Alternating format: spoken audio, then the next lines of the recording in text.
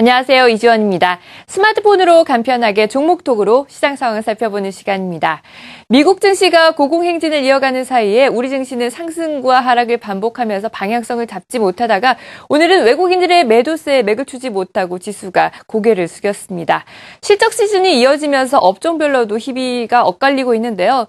네, 오늘 업종별로는 건설 업종들과 철강 금속 업종들이 하락세를 보이고 있는 반면에 의료 정밀 업종들과 전기가스 업종들은 상승세를 보이고 있습니다. 있습니다. 네, 그럼 자세한 시장 상황 들여다보도록 하겠습니다. 먼저 코스피 지수부터 확인해 보겠습니다.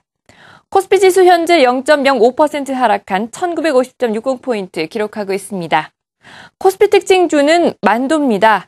자사주 소각 결정을 발표한 이후에 오늘 상승세를 보이고 있습니다.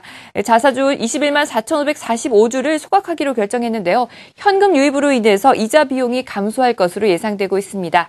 현재 1.42% 상승한 8만 5,500원 선에서 거래되고 있습니다. 다음 특징주는 GS건설입니다. 지난 1분기에 사상 최악의 실적으로 어닝 쇼크를 냈죠. 네, GS건설이 장중 한때 52주 신저가를 기록하기도 했는데요. 오늘은 국제신용평가사의 신용등급 강등 때문에 하락세를 보이고 있습니다. 현재 2.83% 하락한 29,150원 선에서 거래되고 있습니다. 다음 코스닥 지수 살펴보겠습니다. 코스닥 지수 현재 0.86% 상승한 564.19포인트 기록하고 있습니다.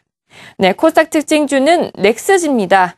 매각 소식에 사흘째 급등세를 보이고 있습니다. 장중한 때 52주 신고가를 기록하기도 했죠. 지난 23일에 장 마감 이후에 누리텔레콤이 보유 중인 넥스지 지분 212만 주를 매각하기 위해서 우리투자증권을 자문사로 결정했다고 공시했는데요. 현재 4.56% 상승한 8,020원 선에서 거래되고 있습니다. 네, 다음으로 종목 랭킹 살펴보겠습니다. 종목톡 사용하시는 분들 어떤 종목에 관심을 가지고 있는지 인기 종목 랭킹 확인해 보겠습니다.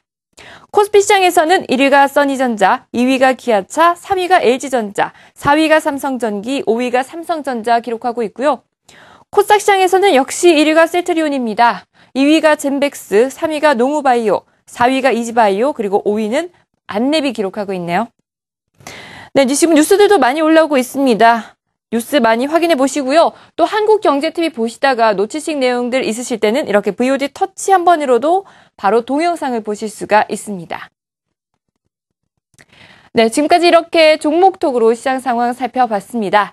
종목톡은 앱스토어와 플레이스토어에서 종목톡이라고 검색하시면 바로 다운로드 받으실 수 있으니까요. 꼭 활용해 보시기 바라고요. 네, 오늘 금요일입니다. 첫 단추를 잘 꿰는 것도 중요하지만 마지막 단추까지 잘 꿰야 멋진 옷을 입을 수 있겠죠. 4월의 마지막 주 정리 잘 하시고요. 저는 다음 주에 새로운 옷의 첫 단추로 찾아뵙겠습니다. 네, 지금까지 종목톡 시황 이지연이었습니다.